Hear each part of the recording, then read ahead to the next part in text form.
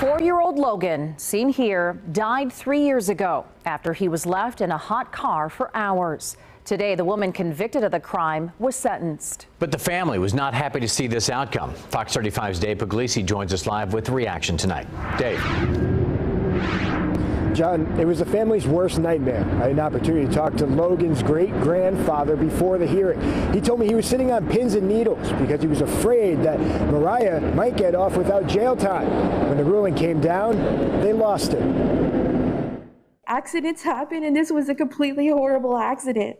The woman accused in the death of the child apologized, but the young boy's family was not receptive. You leave a gallon of milk in the car, it's a mistake.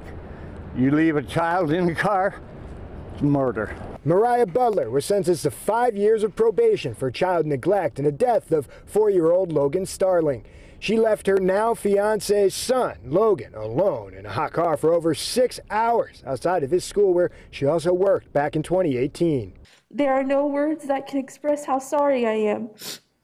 I pray that everyone can forgive me and that I could forgive myself one day. She got away with murder. She hated him. Logan's family enraged with the decision, even storming out of the courtroom. How's that fair? That's telling me you can kill any kid in the state of Florida and get 5,000 years of probation.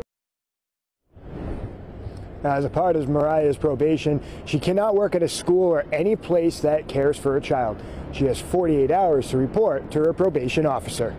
In Orlando, Dave Puglisi, Fox 35 News.